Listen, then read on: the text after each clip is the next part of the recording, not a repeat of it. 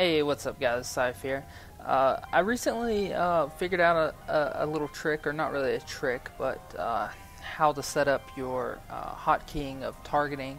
Uh, you know, like the little guns, little lightsaber emblems you throw up on healers during battlegrounds. And I've never done this before. I'm not sure when it was added or how long it's been in the game, but uh, it's really neat, and I just recently learned about it. you're going to go to Preferences, you're going to go to Targeting, you're going to come down near the bottom and you're going to see all the different different symbols. Um, I have uh, you know the orange blaster. Uh, especially this helps out a lot for rated battlegrounds, helping out with assisting, uh, you know, just getting people generally marked faster.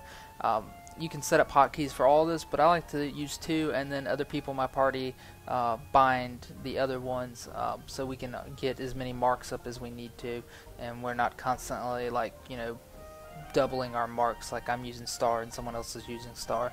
Um, but here I have the blaster as G hotkeyed and then I have the shield as H. That's two keys I really didn't use much and uh, that's just my hotkeys uh, to mark those. And I'll show a quick demonstration of that and just marking targets with those hotkeys. It's a lot faster than having to right click and go up to uh, you know, selecting the target and doing that. Uh, it's just a little aggravating, and this is a lot easier and works way faster. And you can do this in pug groups, uh, get those healers marked, and hopefully your teammates will actually, you know, pay attention and target them. Um, but uh, I just wanted to show you guys this quick guide on how to keybind your targeting markers, and I will talk to you guys later.